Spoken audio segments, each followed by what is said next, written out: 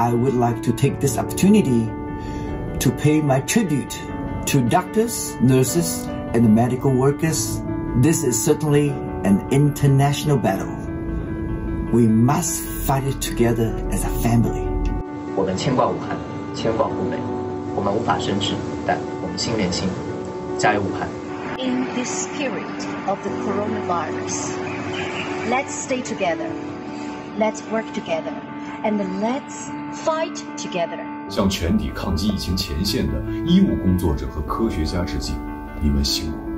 希望你们保重身体，等待你们早日凯旋。 I'm sure China can withstand all these events and come out stronger. I'd like also to thank all the medical staff at the front line uh, for being so selfless and courageous. Wonderful inspiration for all of us. Stay strong, Wuhan. Stay strong, China. 加油，武汉！加油，中国！